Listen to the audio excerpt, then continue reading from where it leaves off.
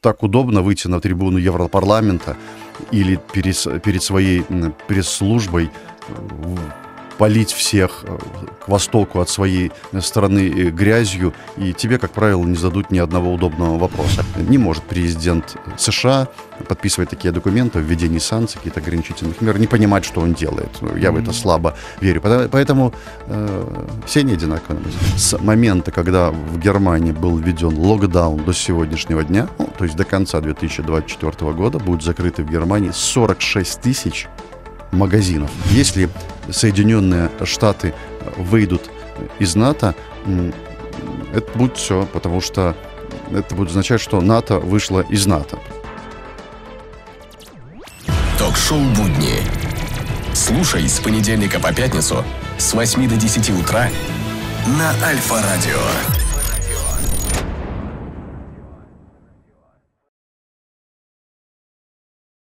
Это ток-шоу «Будни» здесь, в этой студии. Во второй части нашей программы уже традиционно будем обсуждать самое важное событие. Событие, которое происходит и у нас в Беларуси, и за ее пределами. Я напомню, на нашем сайте sb.by, на главной странице нашего сетевого издания, есть ссылка для видеотрансляции из этой студии, поэтому обязательно переходите по ссылке, присоединяйтесь к стриму, смотрите нас и слушайте в эфире Альфа-Радио до финала этого часа. Кстати, слушать нас можно и онлайн на сайте альфарадио.бай. Ну и, конечно же, готов представить сегодняшнего гостя. Это председатель Белтелерадиокомпании Иван Михайлович Эйсмонт. Доброе утро. Доброе утро. Ну что ж, начнем с темы, которая, я уверен, еще только набирает обороты. Это, конечно же, тема, которая касается американского журналиста угу. Такера Карлсона, который уже, ну, скажем так, взбудоражает. Да, да. Ну, я уверен, что это еще, знаете, только За 40 минут 5 миллионов просмотров только анонса интервью. Да, ну как бы действительно пристальное внимание сейчас к тому, что происходит. Но, опять же, интересная здесь история. И вообще, почему э, на данном этапе такое внимание к этому интервью? То есть люди ждут правду? Да, все знают почему. Ну, естественно, вы сразу ответили на этот вопрос. Мне можно не, не отвечать. Я вот перед эфиром вам рассказывал, что наша компания, моя программа, в частности, клуб редакторов, не единожды обращалась к западным политикам, к парламентариям, к журналистам, mm-hmm. официальным лицам, главам государств, письма рассылали с просьбой дать интервью и открыто поговорить на самые актуальные темы. Последняя наша история — это с газетой «Гардиан», которая опубликовала статью об инциденте с самолетом Ryanair, в котором mm-hmm. летел Протасевич. Я не помню, боюсь э, не точную цифру сказать, но что-то в пределах 10-15 фейков мы нашли в этом э, материале, причем в ответе мы доказали, что это не так. Ну, тут особых проблем не было с доказательством, потому что эта статья э, противоречила выводам ИКАО. Мы переслали им видео, переслали им скриншоты. Э, и предложили выступить, в том числе в прямом эфире, обсудить эту тему, все-таки выяснить, что происходило на самом деле. Естественно, ни ответа, ни привета. То же самое было с Washington Post, то же самое э, было, еще раз повторю, со многими mm-hmm. политиками. Не хотят они говорить на эту тему. Так удобно выйти на трибуну Европарламента или перед, перед своей пресс-службой полить всех э, к востоку от своей страны э, грязью, и тебе, как правило, не зададут ни одного удобного вопроса. А если там в Белом доме людьми задают на mm-hmm. брифингах неудобные вопросы, то ну, вы уже видели, что они уже игнорируются, они на эти вопросы не отвечаются. Естественно, они понимают, что Такер сегодня самый популярный журналист в Соединенных Штатах Америки, особенно среди молодежи, такой достаточно политичной молодежи, как показывают результаты опроса общественного э, мнения. Большинство американцев понятия не имеют, что здесь на самом деле происходит. Да, они не знают, тем где более мы в исто... находимся. Да, наверное, тем да. более в, в, в исторической перспективе они имеют ту точку зрения, которую им навязывают Белый дом, Пентагон и подконтрольные им средства массовой информации, а там, по большому счету, все подконтрольные средства массовой информации. Что-то вдруг все тысячи СМИ в Соединенных Штатах Америки имеют одинаковую точку зрения по, по, по тому или иному вопросу mm-hmm. наряду с Белым домом. Совпадение такое, да? И, естественно, и там все, пресса, да. Естественно, там жестко совпало. контролируется, ни для кого не секрет, вы все это знаете. Да они и сами это признают, и Такер об этом говорит. Крайне интересно будет э, посмотреть на реакцию американцев после того, как э, Владимир Путин объяснит причины специальной военной операции, э, ход ведение специальной военной операции, самое главное, последствия для коллективного Запада, для Соединенных Штатов Америки, в частности, вот того, что э, сегодня происходит. Я думаю, что у многих откроются глаза на это. Они понятия не имеют, что Россия предлагала заключить э, соглашение mm-hmm. еще задолго до СВО и накануне СВО. Вопрос лишь стоял в нейтралитете Украины и прекращении обстрела Донбасса, который длился 8 лет, 15 тысяч э, человек убили украинские вооруженные силы, в том числе, по-моему, полторы тысячи детей, вы знаете эту mm, да, аллею детей. ангелов. Когда началась Ангел, специальная военная операция, внимательно следил каждый день, читал все, естественно, смотрел, наверное, по два раза в день было предупреждение Российской Федерации, давайте остановимся, давайте остановимся, потому что в каждый следующий день ситуация и условия для, переговорные для вас будут ухудшаться. В конце концов, уговорили, провели раунд переговоров э, в Беларуси, mm-hmm. провели в Турции, договорились. Прилетел Борис Джонсон, сказал, воюем дальше до последнего украинца. Я думаю, что если американцы об этом узнают э, на столь популярной площадке, они будут слегка удивлены, а самое главное, они начнут задавать вопросы э, Байдену, которому скоро баллотироваться в президенты. Mm-hmm. И это, конечно, ставит его не в очень удобное положение. Ну, кстати, несмотря на то, что вот, ну, давайте говорить прямо, наверное, тоже, что э, это используется и как элемент э, предвыборной борьбы, потому что, ну, ну, конечно, э, потому мы что должны тоже понимать, Такер трампист, того, Такер трампист, да. и вы же понимаете, что с приходом Такера, ой, с приходом, а может и Такер придет, кстати. Кто знает. Вполне себе. Да. Может занять высокую должность. С приходом Трампа на пост президента. По большому счету для Российской Федерации и Республики Беларусь ничего не изменится. Трамп едва ли не больше всех ввел санкции в отношении Беларуси, несмотря на то, что имеет родственные э, связи с людьми, которые здесь э, жили, были спасены. Недавно к нам приезжали в эфир американские журналисты, если вы видели, это да, из команды да, Трампа, и они, естественно, достаточно так агрессивно и жестко настроены по отношению к Байдену, и вопрос наши журналисты, э, наши журналисты интервью брали, и я сам попросил лично жестко э, задать вопрос по поводу политики Трампа в, в отношении Беларуси, потому что, ну, чтобы не было так, что вот они сейчас, Байден против Республики Беларусь, они против Байдена, mm-hmm. и мы давайте все вместе, мы э, лучшие друзья. Я говорю, задайте вопросы по поводу того, что творил Трамп. И, и Леша Волков задал эти вопросы, но ответ был типа того, что Трамп в такие вещи особо и не вникал, не его это была работа, ну, поставил подпись, поставил, совершенно другие люди этим занимаются. Ну, вполне э, допускаю, что, естественно, готовят все эти предложения совершенно другие люди mm-hmm. и воюют с нами какое-то глубинное американское государство, да, и, наверное, глубинное мировое э, государство, а Трамп ставит подписи, хотя не может президент США подписывать такие документы о введении санкций, каких-то ограничительных мер, не понимать, что он делает. Ну, я mm-hmm. в это слабо верю. Поэтому э, все не одинаковы, на мой взгляд. Кстати, но запрос вот на информацию со стороны, скажем так, наших стран, вот у э, жителей, опять же, того же и Запада, из Соединенных Штатов Америки огромный. Я бы вспомнил интервью нашего президента, которые пользовались колоссальным успехом. Это при всей пессимизации, которая присутствует в интернете на самых популярных площадках, к нашему контенту. Слышите, а что ж в последнее время столько встреч с руководителями Мета, YouTube по, по поводу контента, который делается в Беларуси, России. Чё, mm-hmm. Что за призывы в Европарламенте и Еврокомиссии, по-моему, ограничить э, доступ к государственным средствам массовой информации в Республике Беларусь и продвигать негосударственно? Почему? Потому что пользуются популярностью. Ну, мы же видим, что нас пессимизируют. Вы уж тем более видите, что, да. что с нами происходит. И мы сейчас работаем на иностранных языках, на многих, на польских, на английском, на, на, на испанский даже переводим, на немецком.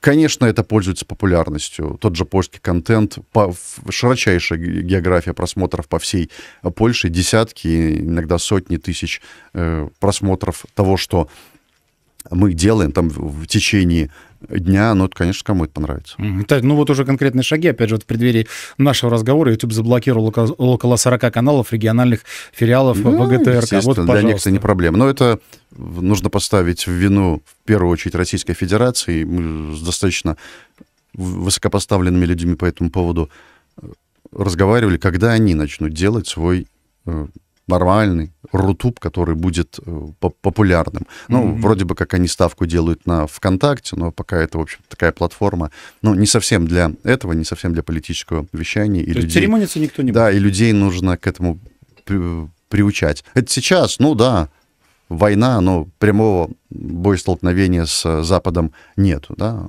mm-hmm. идет прокси-война. А если вдруг начнется, выключено будет все. Поэтому Российская Федерация в первую очередь должна думать о том, чтобы создавать и продвигать свои вот такие вот площадки. Mm-hmm. Кстати, то, что касается вот темы Украины, опять же, уже так э, чуть-чуть скользь затронули, то, что сейчас происходит э, на территории Украины, опять же, пристальное внимание информационных, э, конечно же, агентств, да и, в принципе, весь интернет завален уже всевозможными какими-то, скажем так, предположениями, что же происходит ну, да. с Залужным и так далее. На ваш взгляд, что на самом деле, вот какая, какая игра там ведется? Вот, ну, а, уже есть официальная информация по поводу того, что происходит в Украине, конечно, большой конфликт между Зеленским Укра... и Залужным.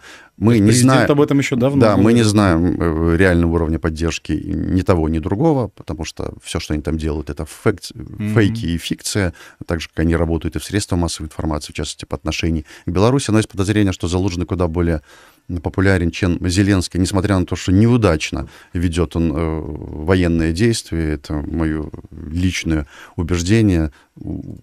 Потеряны, судя по всему, сотни тысяч жизней. Это при том, не нужно забывать, что не Украина воюет с Российской Федерацией, что 52, по-моему, страны помогают mm-hmm. э, воевать с Российской Федерацией деньгами, оружием, наемниками, консультантами, в том числе, я уверен, что вооруженные силы натовские э, представители сидят и помогают э, вести бой. Ну, пресловутый Патриот, ну, все говорят, mm-hmm. что не украинцы это делают, а делают, э, ну, да, при, при, при, при, представители НАТО, не знаю, американцы, не американцы, но представители НАТО точно. И несмотря на это, Э, Россия достаточно уверенно себя ведет, как говорил Путин, что мы еще не начинали. И правда, специальная военная операция не война. Я надеюсь, что после того, как Израиль начал воевать с Хамасом, а там официальная война, mm-hmm. вы увидели, чем отличается специальная военная операция от э, войны. Если бы была война, то в Киеве, в Киеве сегодня не было бы так э, весело и задорно, как сейчас. Я про те многочисленные видео из ночных клубов и ресторанов, которые э, оттуда э, приходят. В общем-то, там идет дележка власти. Зеленский не собирается отдавать свою власть, потому что мне кажется, что для него это вопрос жизни и смерти. Он об этом знает. Я думаю, что он знает реальный уровень, реальный уровень поддержки. Он знает, э, какие ошибки он допустил, он знает, какие преступления допустила украинская власть mm-hmm. при нем по отношению к жителям Украины. И недавно, опять же, материал «Гардиан» из тюрьмы, где содержатся люди, которые имеют иную точку зрения, у которых на лбу э, вырезано там ножом или выжжено слово «орг», и это только верхушка айсберга. Все мы знаем по рассказам людей, которые вернулись с Донбасса, что там творилось, да, и по всей Украине.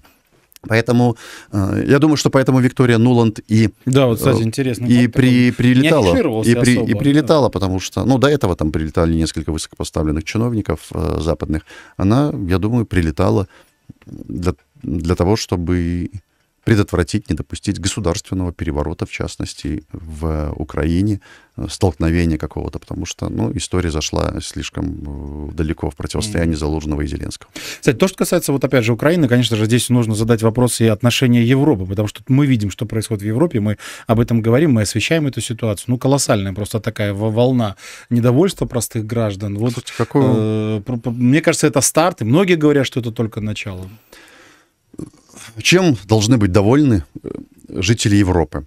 Они довольны тем, что Российская Федерация, как рассказывали им местное средство массовой информации, на них не напало. Потому что вы знаете, что люди там запуганы в буквальном смысле этого слова и пугают их Россией десятилетиями.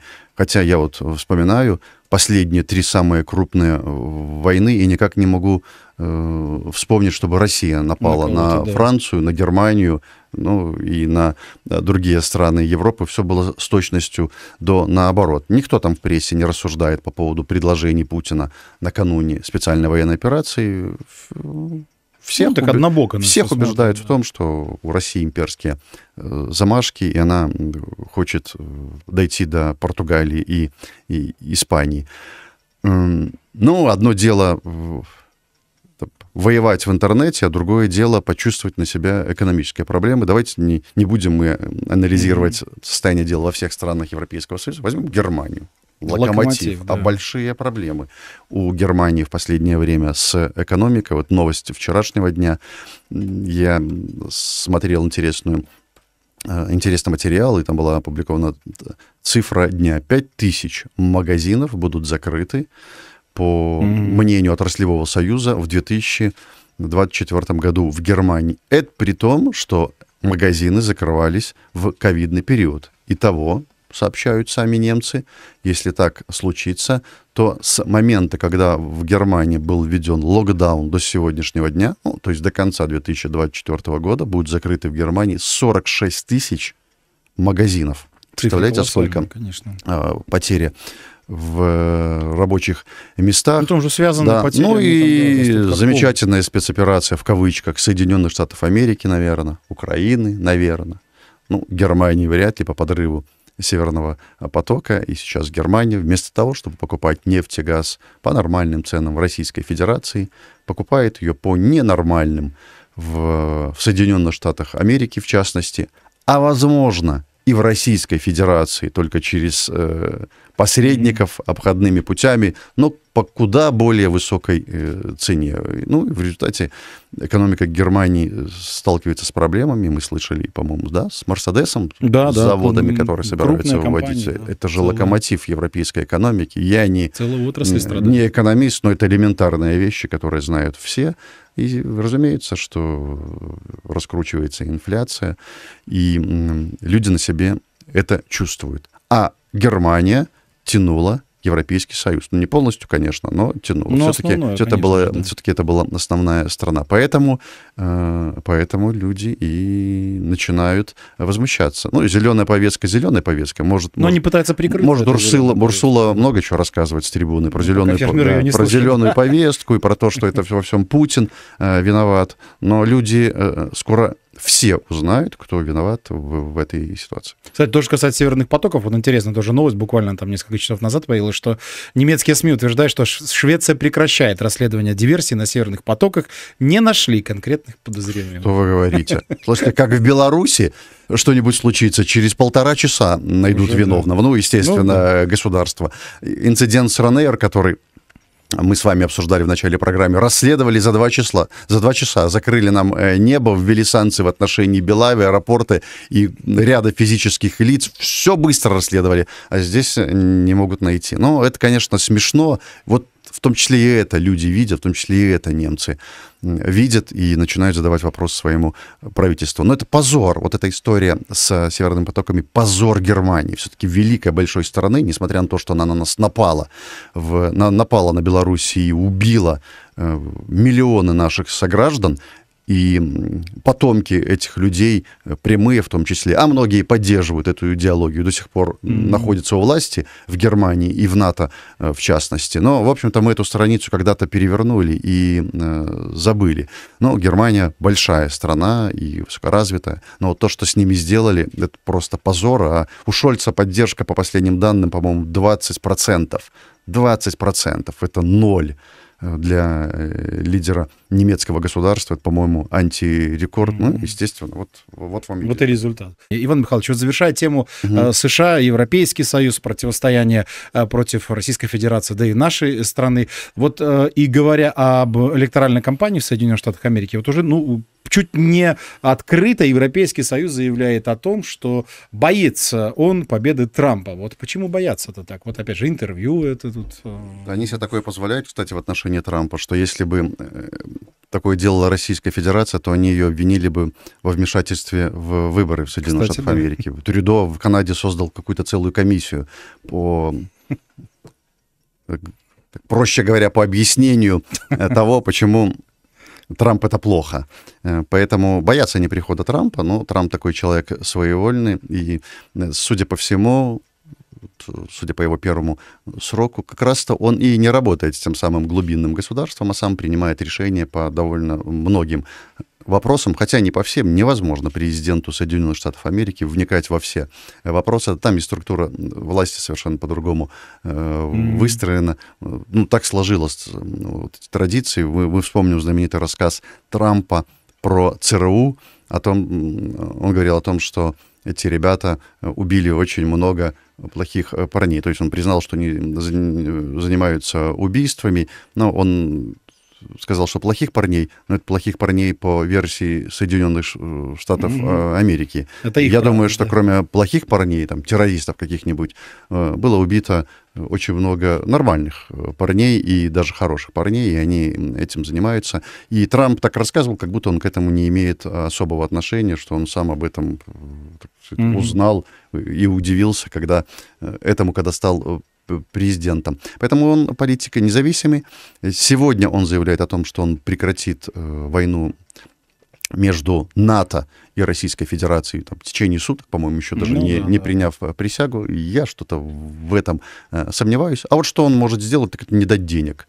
Или выйти из НАТО. Украине кстати, и выйти из НАТО. Все верно. Это самый последний момент, который очень сильно, как мне кажется, пугает европейцев. Если Соединенные Штаты выйдут из НАТО, это будет все, потому что это будет означать, что НАТО вышло из НАТО. Потому что НАТО — это Соединенные Штаты Штатов э, Америки, это э, организация, строго подчиненная США. Это, по сути, и есть США, которая облепила себя европейскими, ну, другими вассалами, mm-hmm. да. И тогда станет вопрос о безопасности Европейского Союза. Европа, вы знаете, что Европа напугана, да. Они напугали своих людей. Они, и, и сами, себя убедили, да, что напугали. Российская Федерация и Республика Беларусь вместе Э, собирается напасть на Польшу и дойти, ой, на Европу и дойти до э, Лиссабона, и сейчас они поговорят о том, что, наверное, им нужно будет создавать какую-то свою европейскую объединенную армию. Пусть создают фермеры, им скажут за это большое спасибо. Если у них нету мозгов, им нечем заняться, пусть создают армию. Заборы пусть построят еще, там несколько заборов, на это потратят деньги. Еще раз хочу сказать, что люди им скажут спасибо. Пусть слушают нашего президента. Он же говорил еще до всех этих электоральных э, кампаний, mm-hmm. которые начались в Европе, что народ им этого не простит. Народ с них спросит. В результате альтернатива для Германии сейчас самая популярная Причем партия в Германии. Да. Как это раздражает э, политиков, официальных э, лиц Германии. Там просто творится ужас. Я просто не слежу, внимательно mm-hmm. читаю, в том числе и первоисточники на э, русском языке, то, что у меня получается, ну, там уже призывают к расправе над э, членами партии «Альтернативы для Германии», оскорбляют в самой жесткой э, форме. Все идет к тому, что может нежданка случится на немецких выборах. Поэтому вот такие страхи и у европейцев по поводу Трампа. Кстати, ну, переходим э, с темной стороны на светлую, так. к союзному государству так. Республики Беларусь и Российская Федерация. Действительно, э, Высший государственный совет союзного государства состоялся. Вот итоги и вообще, в принципе, э, как вы оцениваете сейчас вот это время возможностей для Беларуси и России? Потому что, ну, происходит то, что должно было произойти, наверное, 20 лет назад, то, о чем президент Беларуси не единожды говорил, я имею в виду об более глубокой интеграции, о создании равных условий для экономик э, России и э, Беларуси. Эти пресловутые кремлевские башни на протяжении многих лет, mm-hmm. некоторые ставили шпильки в нам в этом вопросе. Ну и слава богу, Сейчас этот процесс сдвинулся с мертвой точки. Это тоже головная боль и большая беда э, коллективного Запада по поводу экономического сближения Российской Федерации и Республики Беларусь, э, потому что это, конечно, сильно отдаляет нас от Запада в экономическом плане. Но спешу напомнить нашим брюссельским друзьям, что это не мы ввели санкции в отношении mm-hmm. Европейского Союза, не мы строим заборы на границе между Беларусью и Европейским Союзом, а все это они сделали своими руками. Я об этом говорил десятки раз в клубе редакторов. Только нужно поблагодарить. А наших мятежников, э, которые все это делали под контролем западных спецслужб и посольств, о чем уже открыто говорят. Вот просто я диву даюсь. То, в чем нас обвиняли три года, э, а именно э, в тех словах, где мы говорили, что это все инсценировано было Западом и поддерживалось Западом, вдруг выяснилось, что это абсолютная правда. Поэтому нужно их поблагодарить, ну и наших западных партнеров. Мы на торговле с Западом потеряли, на, на, на, на санкциях западных мы потеряли в торговле со странами Евросоюза и Украины 6 миллиард, 10 миллиардов долларов. Mm-hmm. 6 миллиардов мы в течение года практически компенсировали только увеличением поставок в Российскую Федерацию. Я уже не говорю про другие страны. Это только в течение года. У нас товарооборот сейчас достиг, по-моему, 50 миллиардов долларов. Да, Крутой, растет. кстати, я видел, который работает, конечно, не покладая а, а, рук. Я знаю информацию, э, как работает посольство. Он уверяет, что за 3-5 лет мы можем удвоить эту цифру цифру, это замечательный результат. Почему? Потому что, ну, э, что происходит? Три направления. Во-первых, это продажа наших товаров, это значит загруженность наших предприятий, это значит, что стабильная работа, это значит, что заработная да, плата, места. рабочие места, увеличение доходов, это значит, что семьи накормлены, а у нас промышленность, извините, ну, э, э, не, не самое последнее mm-hmm. в регионе, и огромное количество людей занято в работе на наших предприятиях. Во-вторых, это э, создание э, совместных производств. Да? Там одна часть э, колеса наши, mm-hmm. кабины ваши и так далее. Ну а третье это инвестиции, российские инвестиции в белорусскую экономику. Я увидел в одном Змагарском паблике э, заголовок, о котором рассказал клубе редактору. Россия дала Беларуси 4 миллиарда долларов. Я еще смеялся, что удивился, думаю, что это Россия начала деньги раздавать. Инвестиции, инвестиционные Причем долгосрочные Да, инвестиции, да. которые будут окупаться, это развитие наших предприятий. И поэтому, э, ну, я доволен. Это Э, это страшный сон Запада. Они нас убеждали в том, что нужно было порвать с Российской Федерацией. Этот знаменитый план реабилитации э, Беларуси, по-моему, примерно так он назывался, который мятежники выбросили после 9 августа, там, через несколько дней, который подразумевал строительство границы с Российской Федерацией, запрет участия российского бизнеса в экономике Беларуси, э, и, и, ну, и все mm-hmm. в том же духе, выход из интеграционных объединений, а значит, союзного государства. Мечта их такая, да.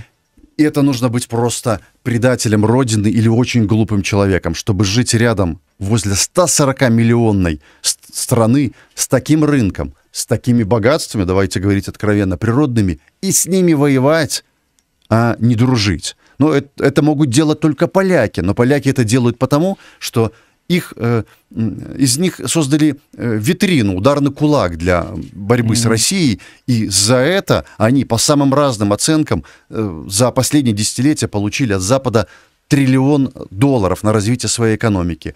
Где-то возвратные были деньги, где-то просто подаренные, где-то инвестиции. Но поляки могут себе позволить. Им сказали, давайте, вы будете воевать с ними, а мы вам поможем. Но посмотрите на других, кто воюет. На Грузию, на Молдову, на Украину, да на ту же Прибалтику посмотрите, там жалко иногда mm-hmm. на, на нее посмотреть. Ну и, и, и, и, и, чего, выиграл, и чего, они, да. чего они добились. Поэтому э, замечательно все, что э, происходит э, между нами Российской Федерацией и сейчас. Воют э, наши беглые про не потерю суверенитета.